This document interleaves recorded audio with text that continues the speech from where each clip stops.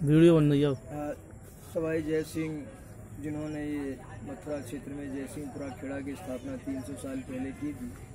वो आयोजन सन 2020 में शुरू किया गया था और ये उसकी पहली वर्षगांठ है जो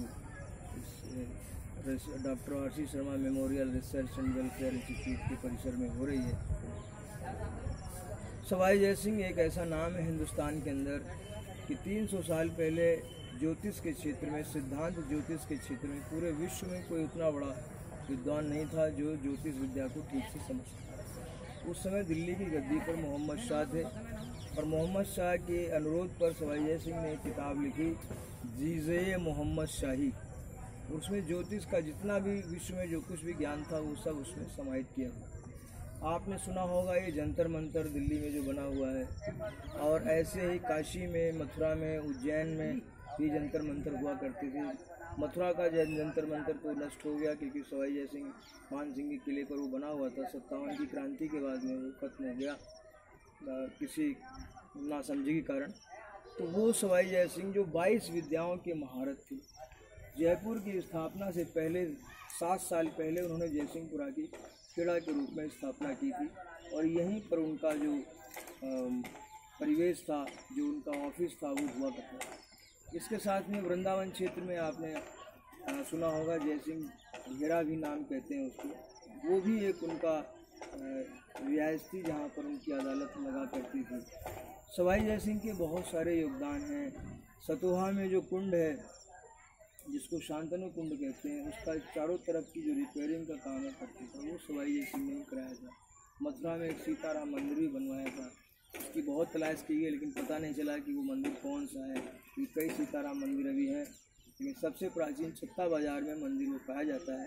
तो ऐसी उम्मीद है कि वो वही मंदिर होगा जो सवाई सिंह ने बनवाया और ये बड़े दुर्भाग्य की बात है कि हम हिंदुस्तान में इतनी बड़ी हस्ती को, जिसने उस दौर में, गुलामी के उस दौर में इस देश की विरासत को पूरे विश्व में छापा।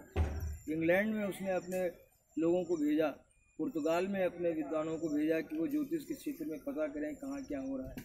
वहाँ से जो रिपोर्टें आई, उसके बाद में देखा कि भारत में जो काम हो रहा था, वो सारी दुनिया में नहीं हो रहा। तब जो है वो जीजे मोहम्मद शाही वो प्रकाशित हुई और उसके बाद ये कैलेंडर जो आज हम हिंदू कैलेंडर, मुस्लिम कैलेंडर की बात करते हैं कि कई विद्वानों ने मिल करके उसको व्यवस्थित किया। ये जो यंत्र बनाए गए थे, वो इसलिए बनाए गए थे क्योंकि पीतल के यंत्रों से नक्षत्रों की स्थिति साफ़ नहीं हुआ करती थी। इसलिए पत्थरों के जो यंत्र बनाए गए, जिनको जंतर मंतर कहा जाता है। तो आज हमें बड़ा फक्र की बात है और ये सौभाग्य है कि हम उस क्षेत्र में रहते हैं। तो क्यों ना हम इसको एक पर्व के रूप में, एक आयोजन के रूप में इसको विकसित करें और इस तरीके से ये धारा बहे, जो जिसने सारी दुनिया को रोशन किया अपने ज्ञान से उस विद्वान को हम भूल गए।